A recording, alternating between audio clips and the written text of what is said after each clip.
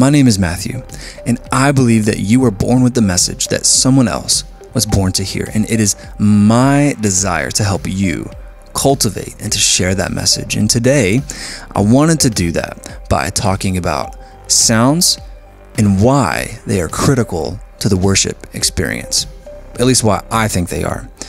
So, one thing to note before we jump in though each church has a unique sound.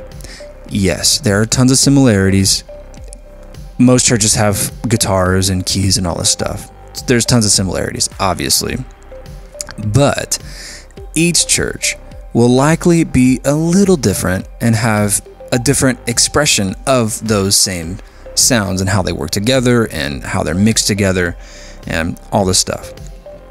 Um, so every church is going to be a little bit different especially depending on your culture, your context, vision of your church, vision of your pastor, and what you're going for, and you know what that looks like for you. Um, but I do hope that the content of this video helps you to think more intentionally about sounds you use in your services and why they are critical to the worship experience. I've got some helpful links below in the description um, that will be great resources for you um, if you're trying to improve your sounds and your worship experience.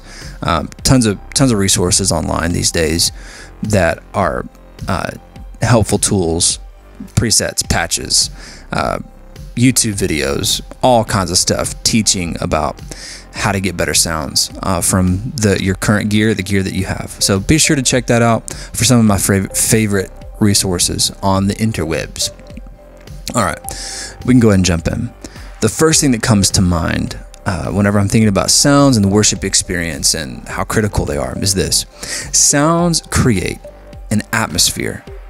An atmosphere is the tone or the mood of a place. It can be energetic, it could be hopeful, looking ahead to the future, it could be introspective, it could be retrospective, intimate, uh, and or reverent. And so all of our sounds in the worship experience are helping to create an atmosphere.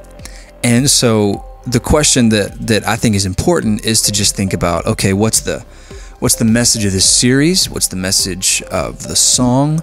And what is going to help people hear that message the best? Because that's really what this is all about.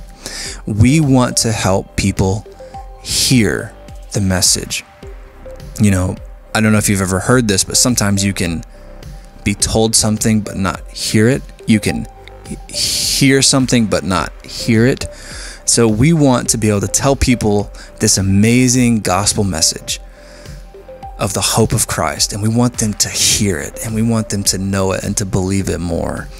And uh, so, what kind of atmosphere can we create that's going to facilitate that and to help them to hear that message? The second thing is this the sounds in our worship experience drive emotions and they help people to feel you know?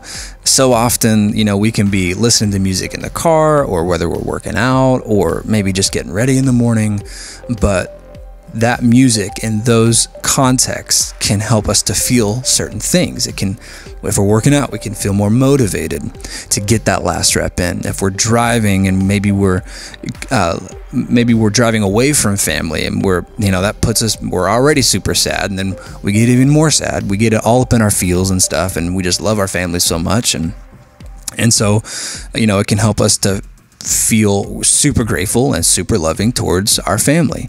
Uh, maybe it's in, inspirational. Um, we're thinking about the hope of our future that um, God has plans for us, and he, we were created before the foundations of the world with good works um, in mind for us, that we would walk in them and do those things. And God has a purpose for our lives, and man, that's inspiring. And um, so it can, yeah, help us to feel inspired. It can drive our emotions and to help us feel. And so we just ask, ask, ask ourselves this question What's the message of the song? And what's in this series or on this Sunday? What emotion is going to help drive this message? And uh, to, you know, think about how we can do that. The third thing, excuse me. Need some water. I'll get it in a minute. Okay, third thing. Sorry about that. Cohesion. The way sounds work together is important.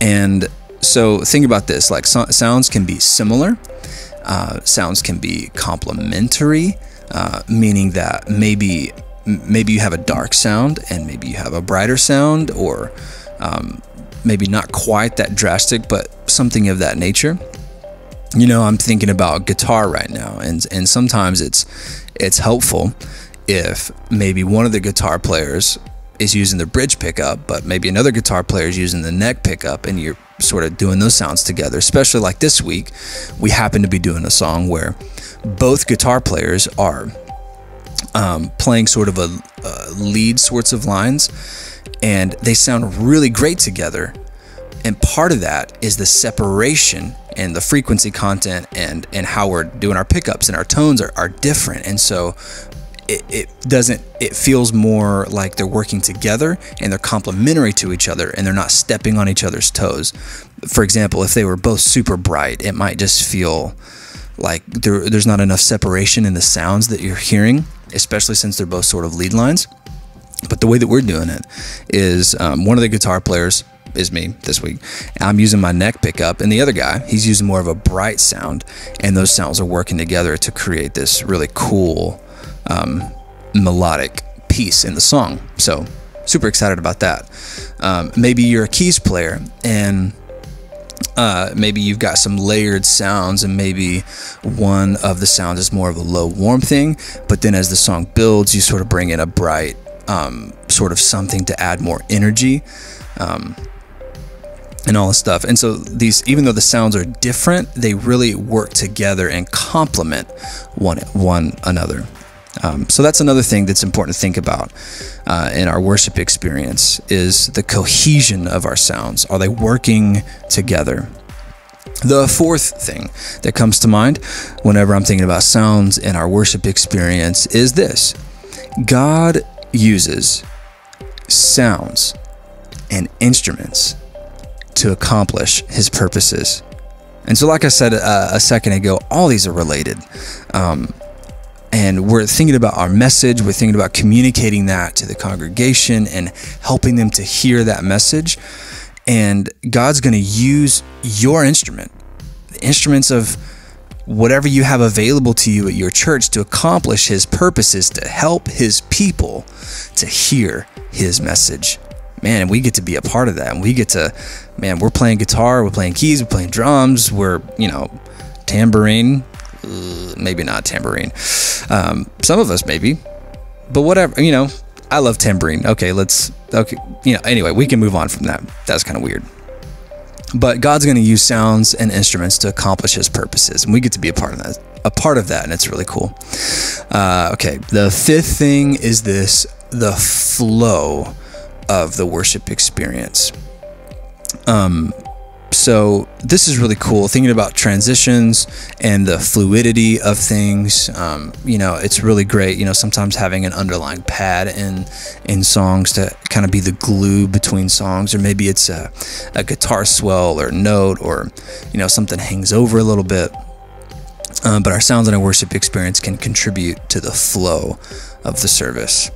Um, so anyway, uh, that's really the content that I've got for you today. So, my question for you is this Do you think sounds matter in church? Or do you think it's just kind of like, yeah, man, whatever, you know, just use, you know, whatever, you know, just turn the amp on, plug the guitar in, and go for it, you know, which is, there's value there. I'm not saying that there isn't. Um, but maybe we need to be a little bit more intentional with how especially when you get a lot of people and you have a big team, you need to start thinking more intentionally about sounds and your worship experience, I believe. Um, but do you believe that? Do you think sounds matter in church? In the comments below, tell me why or why not. Tell me in the comments below, tell me why or why not you believe sounds really matter that much in our worship experience.